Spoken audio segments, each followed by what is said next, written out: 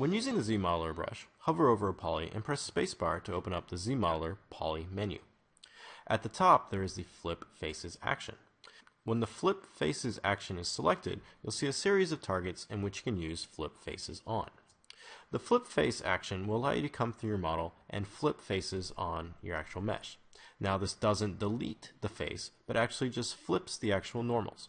So if I view the model from this side here, you'll see that I cannot see those faces, but if I start to rotate around the model, you'll see those faces are visible on the other side. Now one thing to watch out for when you're using this flip faces option is to make sure that over here under the tool menu, underneath display properties, that you do not have double turned on. Double will allow you to see both sides of a face as they're viewed on screen. So if you come through and start flipping faces, you're going to notice you're not going to see a change. So this may cause issues in your model if you need to generate items that are watertight or have non-manifold edges. Another good example of the flip faces option is to use the target of all polygons. This is specifically interesting when trying to generate shapes or inner dimensions to certain objects. So I have just a cylinder here, and if I turn off double, you can see that the normals are just facing outward.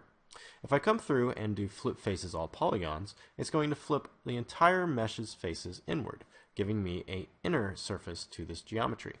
I can then use this inner surface along with QMesh, polygroup all, to generate an inner dimension to a cylinder object. This may be helpful when creating items such as tubes or cylindrical objects on your mesh to add greater detail and dimensions to your models.